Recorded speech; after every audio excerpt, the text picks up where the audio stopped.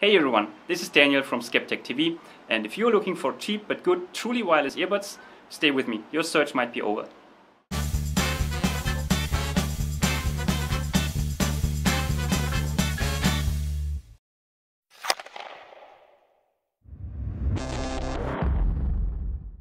Welcome, you skeptical skepticians, if that's a word.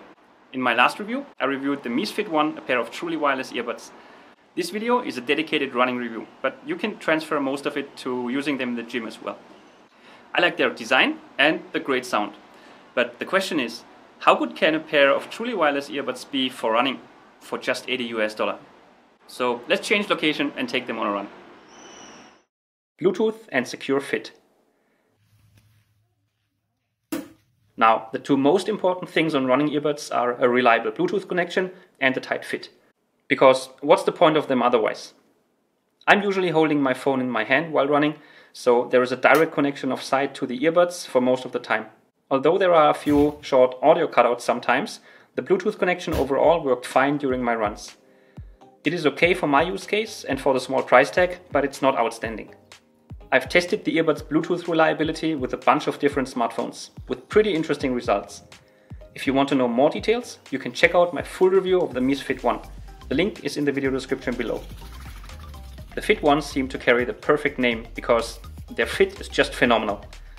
Although the earbuds don't have these little silicone fins that you find on dedicated fitness earbuds like the Jaybird Run, the Gear Icon X or the Jabra Elite Sport, they sit very securely in my ears. At no point in time I felt they'd gonna fall out. And that were only the silicone ear tips.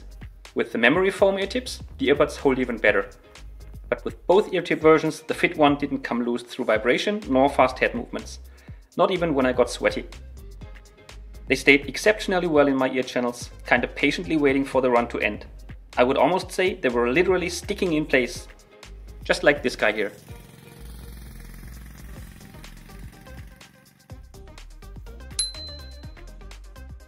Sound quality and ease of use. The difference between the foam and the silicone ear tips was smaller than I expected when it comes to sound. There is a little bit more power in the bass with the memory foam ear tips and a slightly better noise isolation from the outside world. But no matter which version you prefer, the sound quality is fantastic, hands down. Another positive note is that the earbuds do not cause any whistling noise caused by the wind from your run. The Fit One make it easy to adjust the volume and to pause or select tracks during your run. There are control buttons on each earbud that are nice and tactile. On many in-ear devices, it can be pretty uncomfortable to use manual buttons, as you need to press them slightly into your ears. But luckily, the button's pressure points at the Fit One are soft enough to not be uncomfortable, and yet they are clicky and don't rattle at all. Mobility. The Fit One are fully wireless, which means they provide good mobility during your run or other fitness activities. No disturbing cable between the buds that would get stuck on sweaty skin no annoying cable that would jiggle the earbuds out of your ear channels. However, you are not fully independent from your phone, as you cannot store music on the buds themselves. The earbuds should last for 1 hour and 45 minutes to about 2.5 hours on one charge. I would almost recommend you to leave the charging case at home for the run. You would only need to have it with you in case the pairing connection to the phone would ever get confused. But luckily, the Fit ones are extremely reliable here. Well, great then, you can leave the case at home, right? Hmm, Almost. If you pause your music for several minutes, the earbuds will power off to save battery. That's generally great, but unfortunately, you cannot wake them up again by just a button press. In that case, you again depend on having the battery case with you.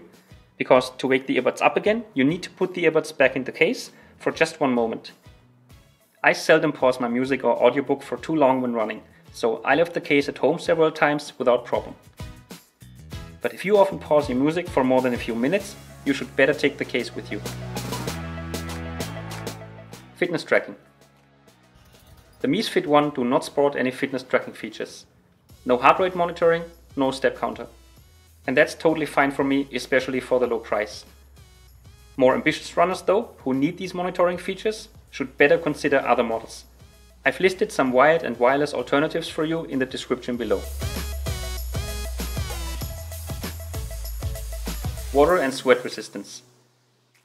Mees does not state an official IP rating for the Fit One, but they told me sweat and rain would not be a problem for the buds. So I put one earbud outside during a light rain shower and left it there for a few minutes. In fact, no problem at all. But I wouldn't be a skeptic if I wouldn't put the Fit 1 under a little more stress, would I? So I decided to test them under the shower. Please, do not try this at home.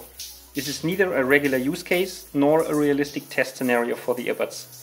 Shampoo makes it much easier for water to get virtually through the tiniest openings. It could short circuit the battery, so again, please do not try this yourself. So, to not tease you any longer, was the test successful? Yes. Did the Fit 1 survive my shower test? Yes. And no. One of the earbuds works still perfectly fine.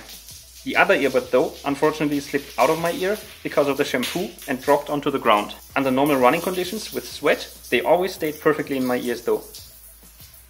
So I picked them up, tried to blow away the water, put them back into my ears and they were still playing music, although I later noticed that the buttons on this earbud had stopped working. I can't tell you if this was caused by the hard drop to the tiles, or by the shampoo, or by me blowing the water deeper into the earbuds.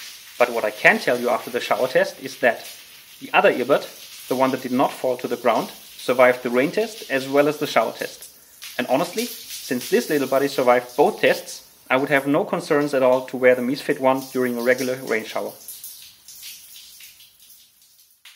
Conclusion. So overall, are the Mees Fit one good for runners or other fitness enthusiasts? They are surely no dedicated sports earbuds, and they don't claim to be. But they're great fit, the awesome sound, and the manual control buttons make them a lot of fun on your runs or in the gym. The Bluetooth connection could be a little bit better, but if you hold your phone in your hand during the run, like me, then the connection won't bother you too much. All in all, I think for just 80 US dollar, the Fit One are a solid deal for hobbyist runners that don't really need fitness tracking functions in their earbuds. But that's it again for this video. What other earbuds are you currently interested in and why? Which other earbuds would you like me to review for you guys? Let me know in the comments. If you found this review helpful, then please leave me a thumbs up, share it with your friends, and subscribe to the channel for more interesting content like that. You can also find me on social media like Facebook, Twitter and Instagram up there or in the video description below. There you also find all the links I mentioned in the video. But that's it for now. This was Daniel. I see you in the next one and remember my friends, stay skeptic.